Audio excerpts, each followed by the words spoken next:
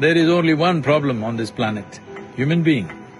If human beings are fixed, and that fixing can only happen from within, because if somebody else tries to fix you, then you know what it is, it's a fight, it's a war, when somebody else tries to fix you.